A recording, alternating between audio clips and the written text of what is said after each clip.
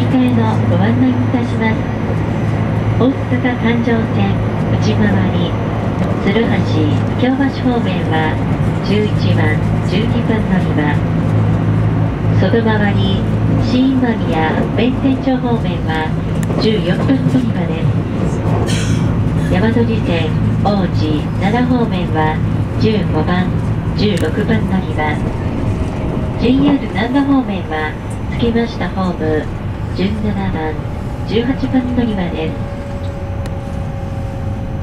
ただいまは列車の運転を再開しておりますが一時天王寺復帰付近停電いたしておりました。影響によりまして大阪環状線大和路線の電車に遅れが出るようお願いいたします。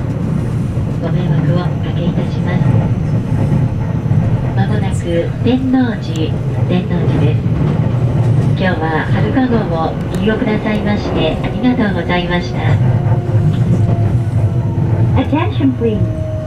We will soon be making a brief stop at Tennoji. After leaving Tennoji, we will be stopping at Nishikujo. Passengers transferring to the Osaka Loop line and Yamaguchi line, please change trains at Tennoji. Thank you.